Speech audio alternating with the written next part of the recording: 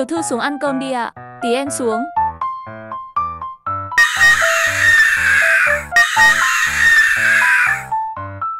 Mẹ đâu?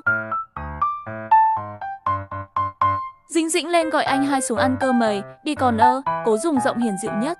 Dạ, tại sao lại là tao? Ôi, ổn ý chẳng. Hamum, không có ở trong này à, ổng đi đâu được? Ôi ôi, Được rồi, làm sao? má bảo anh xuống đớp cơm. Không ăn. Ơ, Hả? hai cái dài nó bự xê nè. Sao rồi con? Anh bảo anh có ăn. Ờ, vậy hả? Chờ mẹ xíu na.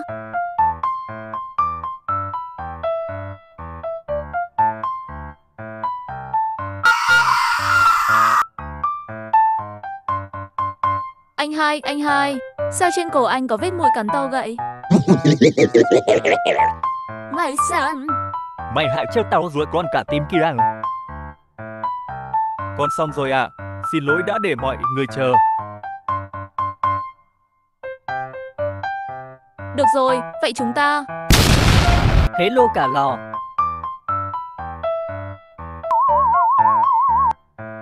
Sao bảo tuần sau mới về? Xong sớm về sớm ạ. Con có mua quà cho cả nhà đây. Ôi trời thằng nhóc này, đi thi còn chu đáo, ồ, mua quà cho mọi người nữa. Đây ạ.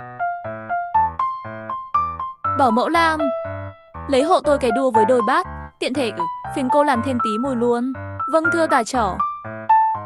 Được rồi, vậy chúng ta bắt đầu. Đầu tiên, nhân dịp gia đình đông đủ, thiếu ông bô, đê. Xin được giới thiệu con gái ruột của ở, chúng tôi đã trở về và con dâu cả tương lai. Lô con Sakoe. Lần đầu gặp anh hai với anh ba, em xin ư, giới thiệu, em là Dĩnh Dĩnh. Con hứa sẽ chăm ngoan để ế, không phụ công ơn của cha mẹ. Cảm ơn con. Được rồi, Lâm Kiệt. Đây là bạn gái con o, tên là Giang. Cháu là Tạ Băng Giang, con gái út nhà họ Tạ, đã quên anh Kiệt được 3 năm ạ. Cảm ơn cháu. Nào, mấy đứa ăn đi. Nói nhỏ anh anh, sao Diệp cứ nhìn em à vậy? Dâu đẹp cái kia. Ai, vừa khen mình Giang đẹp Giang vậy? đẹp vậy? Các con cũng nghe được đúng không ạ? Nói nhỏ, đê. Mẹ nghe được hả? Đó là tiếng lòng của Diệp Diệp thôi, hình như cả nhà đều nghe được á.